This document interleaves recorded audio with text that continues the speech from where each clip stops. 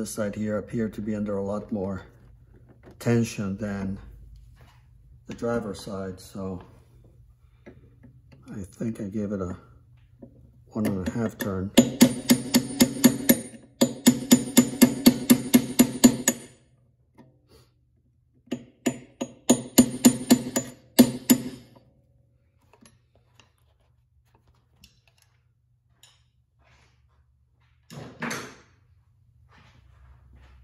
So next what I'm gonna do is I'm gonna loosen these two nuts here, same for the other side.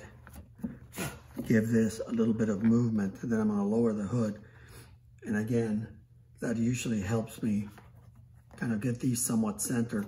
Then I tighten them a little more and uh, say a prayer or two.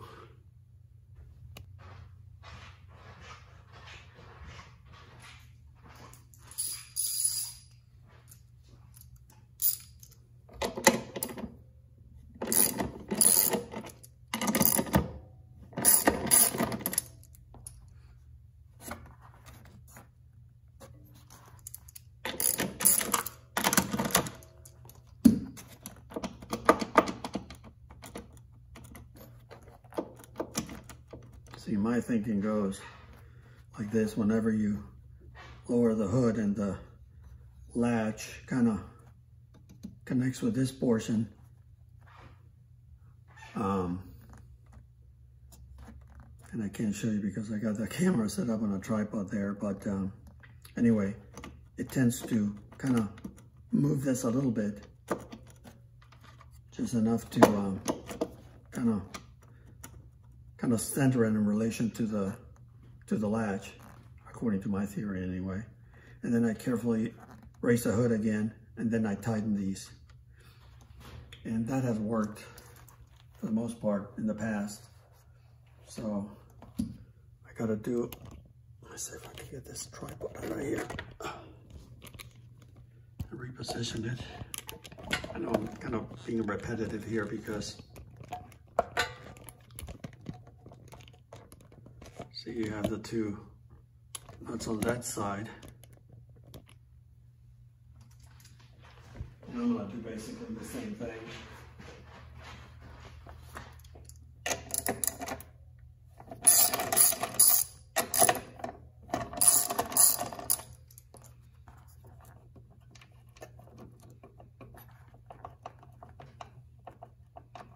Sometimes all you need is just a tiny tiny adjustment. So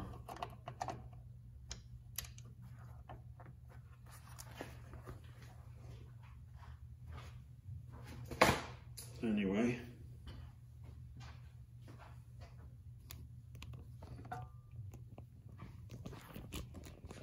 This little tripod has been pretty cool.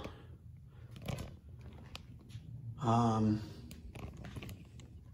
so let me try to I reconnected everything, tightened the uh,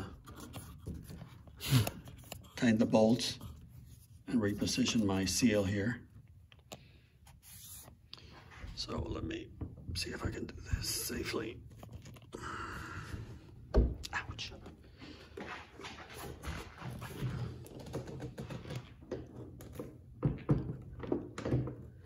And then you see what I what I'm doing here is allowing this to uh, and again maybe I'm totally misguided with my approach but that kind of sort of in theory anyways aligns a little bit the uh, the striker plates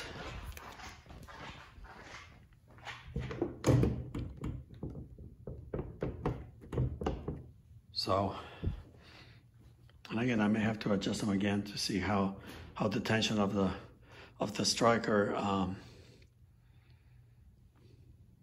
the strikers are um, affecting upon the, um, the latches. And also if this got too, too much out of whack, I don't think it should, but anyway, I'm gonna raise the hood up again and uh, then I'm gonna tighten those, those, um, striker plates, and then um, we'll go for gold and latch the hood.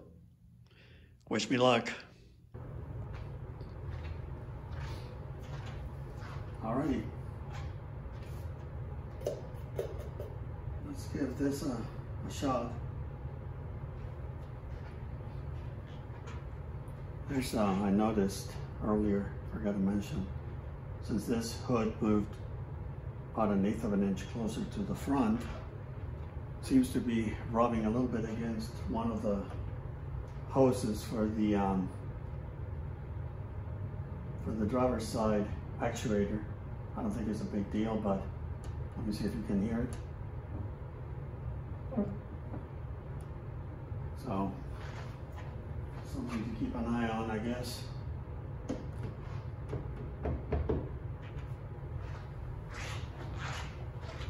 Just notice that little uh, squeaky sound, so.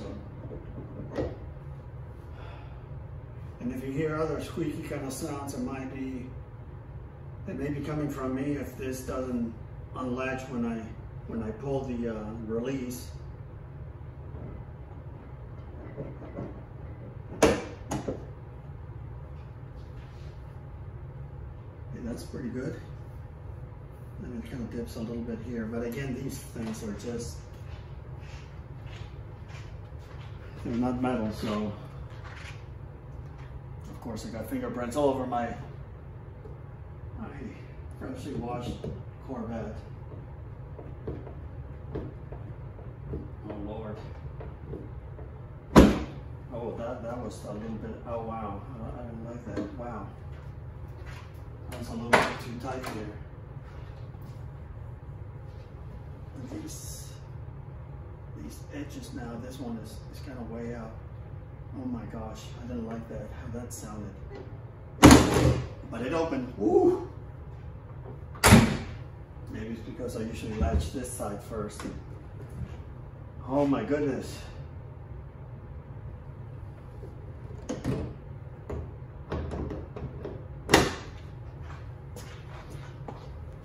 So yeah, let me, I mean, I'm talking sixteenth of an inch or something like that. I guess again, I, I went up a little bit, but I kind of like it. And near the front, it looks so much better. Wow. I'll show you in a minute. Yeah, this side is, is pretty, pretty proud here of, uh, that's about an eighth of an inch. So I may have to tighten that one, that striker a little bit.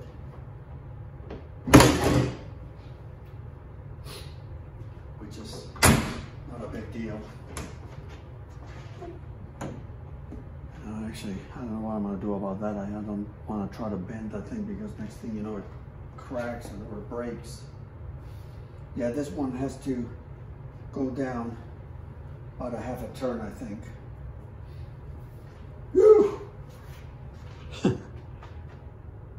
I am so happy I didn't lock myself out of the uh, the motor, so cool beans. Let me uh, do a couple more adjustments and I'll be back.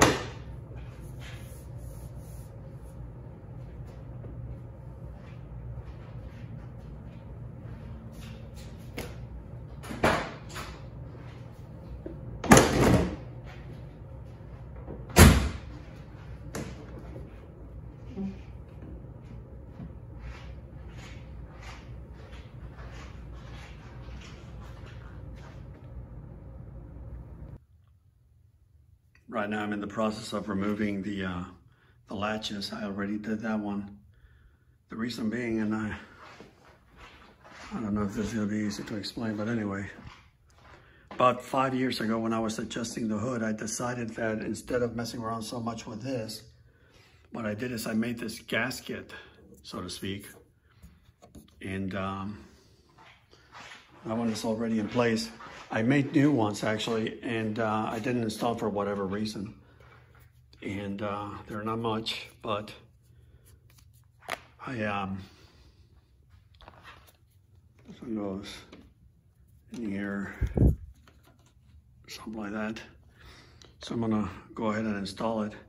Brings down the latch just a little bit. It acts as, a, instead of a gasket, think of it as a, as a, as a big shim. It's made out of a gasket material. Um, seems to help. Latch is a lot easier. And if need be, I'm gonna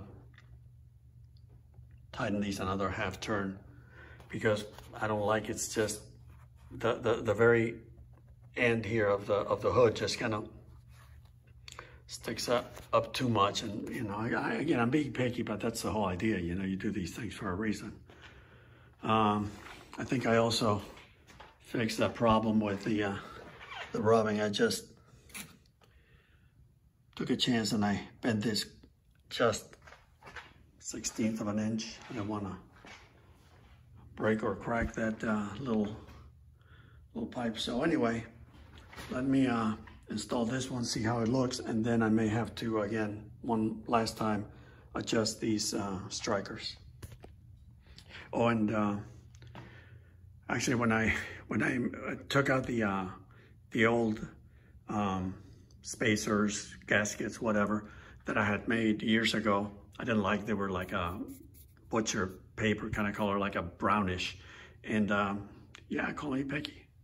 It's, uh, so I made new ones and I have a, I believe I filmed that, so I may dig, dig that up and uh, post in case, you know, some of you are interested in doing something along those lines or just use washers. Um, a gasket is it's a lot easier because when you remove this, it's one piece, you don't have stuff falling out from, from there all over the place. But anyway, let me get busy and uh, I'll be back soon. See, this is what I'm talking about. Otherwise, it's lined up pretty, pretty nicely. But, um, and this is fully latched. Same thing from this, from this side. And even this line is pretty, pretty good. Really talked about how this turned out. That looks really good. And it's no longer rubbing when I open the hood. So one more time, I am going to uh, tighten those strikers and uh, hate to do that, but I want to, you know, line up best I can. So let me try that and see what happens.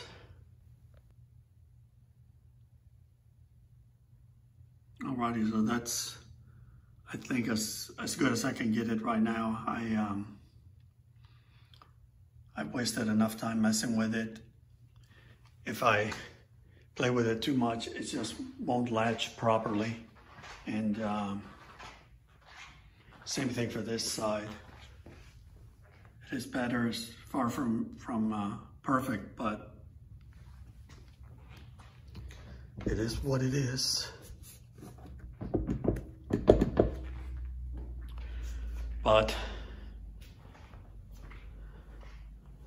that's minutia, as my mom used to say. So I think for, for now it'll do. Again, very pleased with how this turned out. Very nice gap and all, no rubbing. So that is always good. You don't want to start chipping paint. And the gap, even though it's far from perfect on both sides, it's not too shabby, so. Anyway, So that was my adventures of trying to adjust the, the hood, the hood latches, and all that good stuff. Now I have to uh, give it a little bit of a of a cleaning because I got fingerprints all over the place. So anyway, if you have any comments, let me know. If you have any ideas, suggestions, please share share them with me and everybody else. Um, I thought about adding um, washers to the to the latches, you know, in addition to the to that gasket that I fabricated. But frankly, I'm just kind of tired of messing with it. So this will be it for now. But again, if you have any comments or any suggestions of what to do, um, please let me know. And thanks in advance. Thanks for watching. Take care, and I'll see you guys later.